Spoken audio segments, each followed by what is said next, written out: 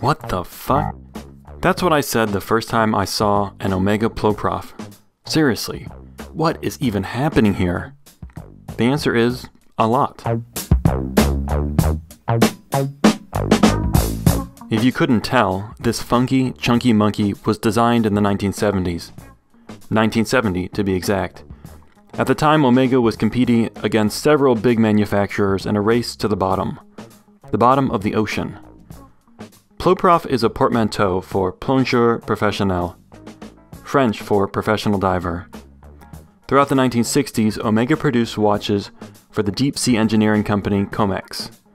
By 1968, their technical needs had outgrown the Seamaster 300, and so Omega went back to the drawing board and two years later came back with the Ploprof 600, which this, Ploprof 1200, is nearly a recreation of.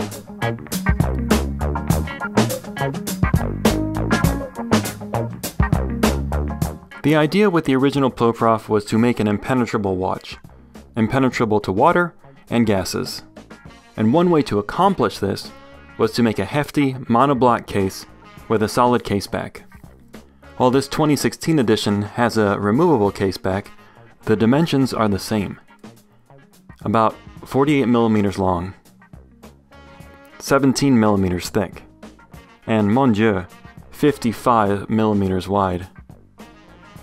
I don't have a scale, but I estimate the weight of the Ploprof to be about the same as an American house cat. And yet, and yet, it's actually pretty comfortable, especially on a rubber strap. I've worn the Ploprof an entire day without dislocating my shoulder or losing blood in my hand, and I even enjoyed it.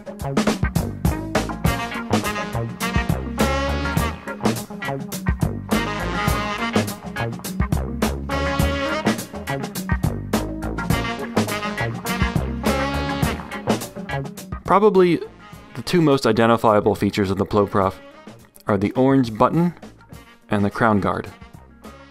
The crown actually just behaves like a normal screw down crown. The guard is spring loaded and so it just adds pressure to the crown and protects it from knocks. The orange button unlocks the bezel, allowing you to turn it in either direction. It's a 60 click bezel.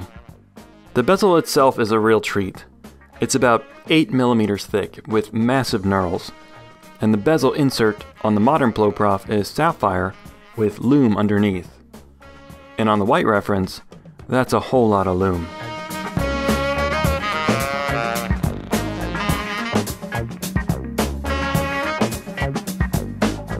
The orange pip on the bezels match the bezel release button and the bold orange sword second hand.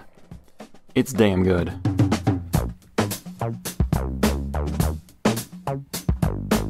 The styling of the modern Ploprof might be a throwback to the original from 1970, but the technology is not. Instead of attempting to be impenetrable, this Ploprof 1200 has a helium escape valve for mixed gas diving. And the movement inside is a chronometer grade coaxial caliber 8500.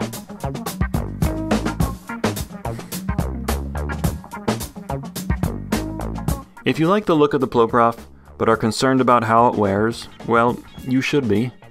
It's huge and heavy. But Omega did their best to make it wearable. On the considerable deploying clasp, Omega built in a mechanical micro adjustment, which makes minor resizing a dream. In fact, this rubber strap is actually cut for my friend Rich at Time Titans. These are his watches. But their micro adjustment allowed me to wear the watches despite the difference in our wrist sizes. Once you get over the fact that you have a small bank vault on your wrist, the Ploprof is a pretty comfortable watch to wear.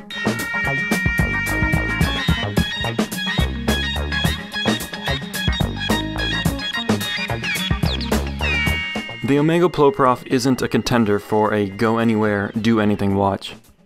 It shouldn't be anyone's only watch, or even their second or third watch.